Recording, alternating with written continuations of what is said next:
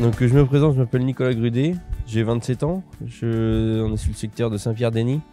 Je suis boucher de métier et, euh, ben, j'ai choisi de racheter des terres familiales qui étaient en vente et je voulais pas les laisser euh, partir. J'ai choisi de faire une plantation du coup de, sapins, de, résineux beaucoup et un peu de feuillus dans le but de le récolter peut-être plus tard ou pour la descendance. Euh, donc le projet s'étend sur un peu plus de 5 hectares et va permettre de stocker euh, 3000 tonnes de carbone sur les 30 prochaines années.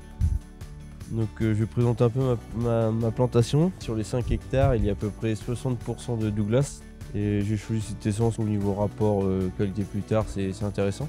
Sur euh, 30% de feuillus, donc euh, chêne, beaucoup de chêne, et 10% de cèdre. Je me suis fait suivre par un gestionnaire forestier pour, euh, pour, euh, le suivi des, des choses. À ce jour, je planter tous les résineux.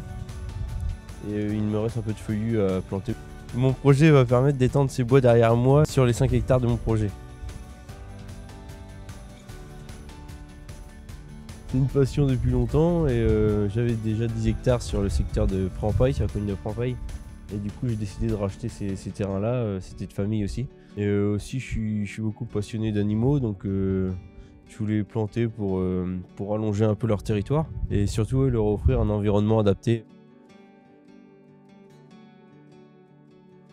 Je tenais à remercier euh, Carbonap pour le, bah, pour le soutien du montage euh, du dossier.